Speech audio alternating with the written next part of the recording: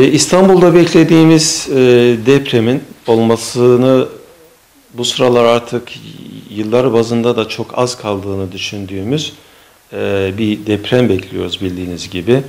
Kahramanmaraş merkez depremlerinin ardından hazırladığı 6 Şubat 2023 Kahramanmaraş depremlerinden alınan dersler ve ülkemizin yeni depremlere hazırlık durumu başlıklı proje çerçevesinde Çevre, Şehircilik ve İklim Değişikliği Bakanlığı'nın görevlendirmesiyle Hatay'da deprem incelemesinde bulunan Kastamonu Üniversitesi Mühendislik ve Mimarlık Fakültesi İnşaat Mühendisliği Bölümü öğretim üyesi Profesör Doktor Mahmut Bilgehan, Türkiye'de yaşanabilecek ihtimal depremlerle ilgili uyarılarda bulundu. Milli Savunma Bakanlığı'nın deprem araştırma grubunda görev alan Bilgehan, İstanbul'da beklenen depremle ilgili de uyarılarda bulundu. Bu deprem geldiği zaman e,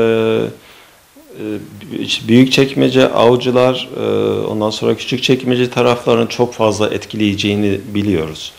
Oradaki e, sahile yakın kısımları çok fazla e, çok fazla etkileyecektir oradaki binaları.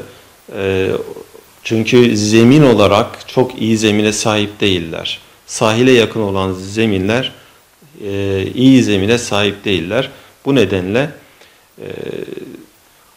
oradaki kentsel dönüşümün e, mümkün olduğu kadar çabuk yapılması, kötü binaların e, yıkılması, iyi binaların yani yönetmeliğe uygun, depreme karşı dayanıklı e, binaların yapılması gerekiyor. İstanbul depreminde özellikle avcılar, Küçükçekmece ve Büyükçekmece bölgelerinin kötü bir zemine sahip olduğu için büyük yıkımların yaşanabileceğini ifade eden Bilgehan, İstanbul'da beklediğimiz bir deprem var. Bu sıralar artık yıllar basında da bakıldığında depremin olmasına çok az bir zaman kaldığını görüyoruz. Bu yüzden İstanbul'da bir deprem bekliyoruz. Depremin Büyükçekmece, Avcılar, Küçükçekmece taraflarını çok fazla etkileyeceğini biliyoruz. O bölgedeki sahile yakın kısımları deprem çok fazla etkileyecek. Çünkü zemin olarak iyi bir zemine sahip değiller dedi. İstanbul'da meydana gelecek olan e, depremde de e, bir tsunami etkisi Marmara Denizi'nden olabilir belki ama o, o dalgalar da çok yüksek olmayacaktır.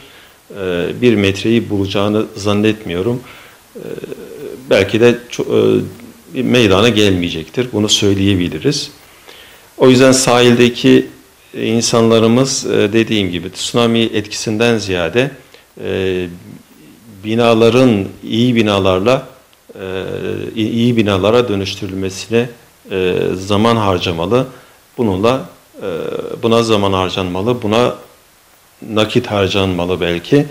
Mutlaka belediyelerle, yerel yönetimlerle, yerel hükümetle işbirliği içerisinde sağlanan fonlardan yararlanarak e, binalarını bir an önce e, ne yapmalılar? İyi binalar haline, deprem depreme dirençli binalar haline e, dönüştürmeliler. Deprem bölgesine bodrum katı bulunan binaların depremden daha az hasar aldığını tespit ettiklerini belirten Bilgehan, kurallara uygun bir şekilde binaları yaparsak sismik izolatörlere de gerek kalmayacak dedi. Bodrum kat yapılmasına önem verilmesi gerektiğini düşünüyorum. E, bodrum kat e, yapılmadığı zaman e, yine o binanın depreme karşı dayanımında bir zayıflık ortaya çıktığını söylemekte fayda var. Hem temel derinliğini arttırır hem de bodrum katın çevresini perdelerle donattığımız zaman, çepeçevre perde duvar yaptığımız zaman e, o bina depreme daha dirençli bir şekilde davran davranacağını söylemekte fayda var. Betonarme perde duvarların e, deprem etkisini almada, kesme kuvvetlerini almada çok büyük katkısı olduğunu e, söyleme söylemek lazım. E, sadece kolonlarla bir, bir binayı oluşturabilirsiniz belki ama e, depreme dayanım açısından mutlaka perde duvarların olması gerekiyor.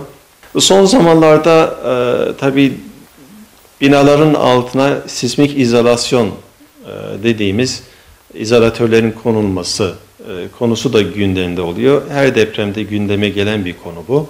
Sismik izolatör tabii ki ne yapar?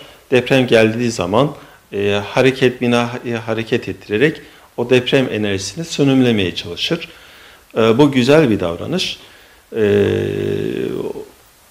ama şunu belirtmek gerekiyor. Sismik izolatör koyduğumuz binanın bir kere depreme dayanıklı bir şekilde zaten inşa edilmiş olması gerekiyor. Ee, ondan sonra koymanız gerekiyor. Ee, yeni yapılan binalar için söylüyorum. Ee, ve şunu da söylemek gerekiyor aslında sismik eğer binaları e, yönetmeliğe uygun inşa ederseniz, e, kurallara uygun bir şekilde inşa ederseniz e, zaten sismik izolatörlere de gerek kalmayacaktır.